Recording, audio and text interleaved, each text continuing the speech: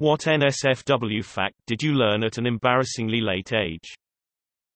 I was raised Catholic. I used to think the sex of the wedding night was so ingrained in the sacrament of marriage that the copulation occurred in some room in the church. I may have even thought the altar at some point. But I think I realized that at least was silly at an early age for whatever reason. I grew up thinking that men were supposed to have three testicles. I was a 13-year-old boy before learning the truth. I thought I was deformed. Or maybe my third ball just hadn't developed yet somehow. I'm not really sure what I was thinking. I just remember the absolute embarrassment I felt when one of my friends found out about this misunderstanding. My buddy thought the penis went into the clitoris at the age of 19. What a wet dream is. I remember in school being taught, but not knowing what it was. I even remember answering the question on a sex ed TED wet dreams are also referred to as nocturnal emissions. Blah blah blah, but I had no idea what they were talking about. I always thought a wet dream meant you peed yourself. Oh you mean sheet sneezes. My brother went the first 22 years of his life thinking that every woman in the entire world got their period during the last week of the month. Like some kind of demonic clockwork.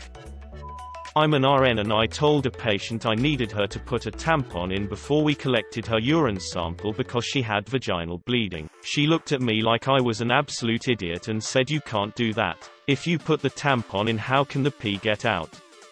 Mind you this was a 25-year-old woman who also had two daughters. It took about 10 minutes of explaining for her to understand that you don't pee out of your vagina. I still don't think she believed me.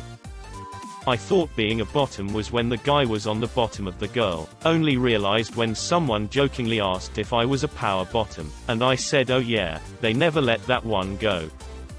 I guess it wasn't a necessarily late age but I was telling a whole group of horrified friends in high school about how I was eating out my cousin for doing something only to later be told the difference between eating out and chewing out.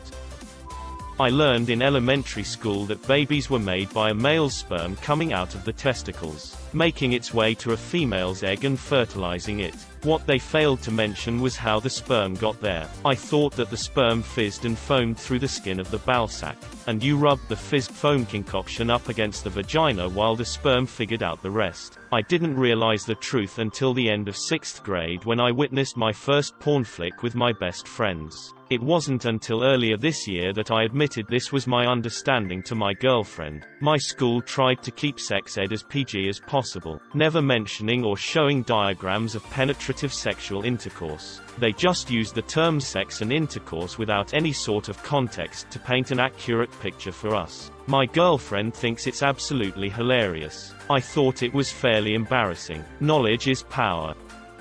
You can suck and lick anything as long as you wash it off first. I used to be grossed out by oral sex because you either literally piss with those organs or come close to it. In elementary school, a friend and I were talking about what we knew about sex, trying to guess what the bases were. We both agreed put things in your mouth was the last base. Because it's so gross. So, you're not alone. In middle school I wasn't uninterested in the opposite sex surprise I'm gay or anything sexual. My friend told me women could have multiple orgasms at once and my only reaction was that sucks not knowing what an orgasm was. Met a girl in college who didn't know guys' balls know with temperature. They're like our own personal lava lamp. The difference between vulva, labia and clitoris. Not me but an old roommate of mine. He comes in and asks me if my husband and I were gonna have sex that night. I told him probably not because my husband got home late. He then asks me if his girlfriend can have one of my birth control pills because they didn't have any condoms. I told him no because I have to take it. He asks me why because I said my husband and I weren't gonna do anything. I told him you have to take it at the same time every day for it to work. He looked at me like an idiot and that was the day I had to explain birth control to my 23-year-old roommate. Not me. But I had a friend who basically explained that he didn't know that if you had a vagina you still had a urethra. I think he was in high school before he learned otherwise. He just thought that the labia essentially acted as floodgates and when you needed to pee they would open like a trapdoor and your urine would just fall out. I still laugh about this. I didn't learn what a clitoris was until I read The Color Purple three years after my supposed health class in high school, and that I even have a clitoris. That there's movement involved in PIV sex rather than just insertion and laying there. Haha back in middle school I used to think sex meant touching the penis to the vagina. The thought of insertion or in-out motion hadn't even occurred to me. I'm late to the party with this but this is an embarrassing case of bad women's anatomy, made worse by the fact that I am woman. A couple of weeks ago I learned that when pregnant women are told in labor things like you are 7 centimeters dilated I thought that they were literally talking about the vagina rather than the cervix. In my mind the vagina literally just became a huge 10 centimeters open black hole into the body. I only learned a few weeks ago that it is the cervix they are talking about. Did I also mention that I am nearly 8.5 months pregnant? I was like 22 now 26 when my boyfriend said something about finding my pee hole. I thought I had been peeing out of my vagina. I used to think that every time I had to pee on my period I had to remove my tampon. That being circumcised didn't mean the head of your dick gets chopped off. I was too old when I found that out. Ladies have three holes in their bottom half. There's more than one size of condom. A proud micro tiny user myself. How many tampons a lady goes through during her period? I was am 26 when I found out. So, how many? I mean I already know but some people out there have no idea. Thanks to some subpar sex ed, my first boyfriend thought HIV spontaneously generates when two guys have sex. We went to get tested for HIV after we for the first time, even though we were both virgins before. When I was a sophomore in high school I was awkward and regularly picked on. I thought I was super cool wearing LA Looks hair gel to style my hair with the duck butt. The stuff often dried and peeled and left white chunks in the hair if you touched it too much. So at the lunch table this girl goes it looks like you have jizz in your hair and I didn't know what that word was so I just said yeah I do and then nobody talked to me the rest of the day.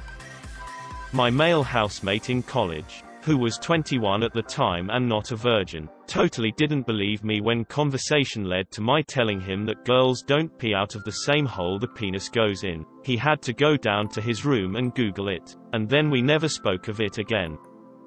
That girls can masturbate too. I learned this at almost 14. I'm female. I had to break it to my 27 year old friend that she doesn't pee from her clit. Eating a girl out doesn't mean taking her for dinner. When I was in high school, my parents, my best friend and I were going somewhere, parents in the front seat, me and my buddy in the back.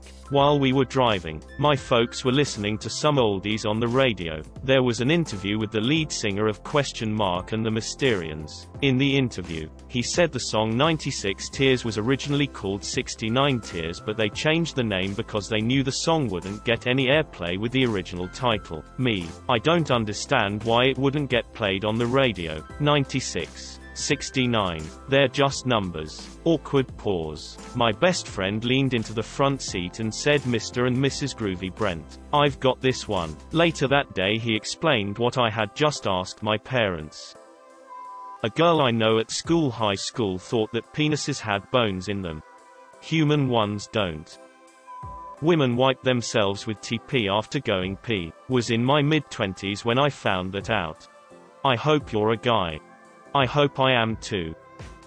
I very recently discovered that the clitoris is outside of the vagina. My first girlfriend never learned where it was so I didn't think anything of it. My current girlfriend when we started having sex she said don't forget the clit and I went, what?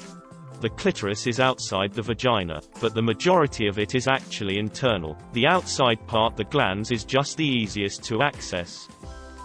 Apparently, Netflix and chill has a slang meaning I didn't know it had. While getting my hair cut the other day, by a 20-something hairstylist, the conversation turned to what we were doing that weekend. Not having a lot going on that evening I told her I wasn't doing much. She said the same. She said she was just going to sit at home that evening and relax. So I said oh, Netflix and chill. The look on her face told me, immediately, I had put my foot in my mouth. I simply smiled at her innocently. After a few awkward moments she said, You don't know what that means, do you? I confess that I didn't. Like trying to explain something to her clueless grandfather she made me aware of the subtext meaning. So, that was an uncomfortable haircut.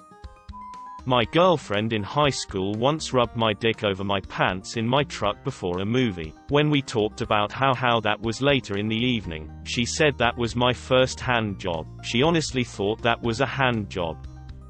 I had a general idea about sex from a very young age but didn't officially understand the mechanics of intercourse until I was a young teen after I asked embarrassingly loud in class what a boner was.